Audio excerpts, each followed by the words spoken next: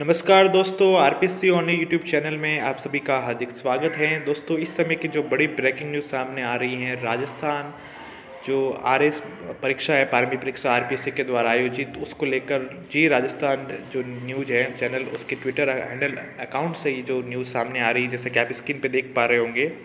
जो R S भर्ती 2018 है, उसके जो प्रारंभिक परीक्षा का जो परिणाम है, वो एक बार विवादों में गिर चुका है फिर। इसको लेकर हाईकोर्ट में एक याचिका दाहिर हुई है। अधिवक्ता राम प्रताप सैनी जो इस याचिका को दायर किया, उन्होंने बागेश्वरी के नाम से याचिका लगाई गई है और ये याचिका उसी इश्यू से संबंधित है, जिसको लेकर हमने डिस्कस भी किया था कि जो सामान्य वर्ग की कट ऑफ़ है, इस बार ज़्यादा रही हैं ओ सॉरी, कम रही हैं ओ से। और इसको लेकर हाई कोर्ट में अभ्यर्थियों ने चैलेंज कर दिया है तो ये बढ़ती भी से विवादों में आ चुकी है।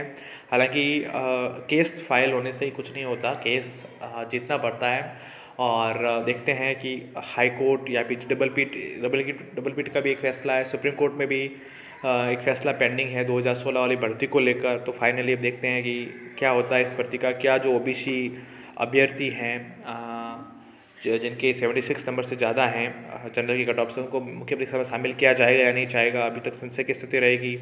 हाईकोर्ट जो फैसला देगा उसी के आधार पर तय किया जाएगा। तो दोस्तों इस वीडियो को सुनने के लिए आप सभी का बहुत बहुत आभार।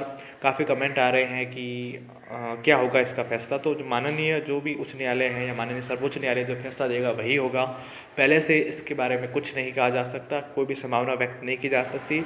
आ, सभी के अपने अपने पक्ष हैं, कोई से न्याय बता रहा है, कोई अन्याय बता रहा है, सभी के अपने अपने तर्क होंगे, जिसके तर्क में ज़्यादा दम होगा, वही जीतेगा। तो इस वीडियो को सुनने के लिए आप सभी का बहुत बहुत आभार बहुत बहुत धन्यवाद।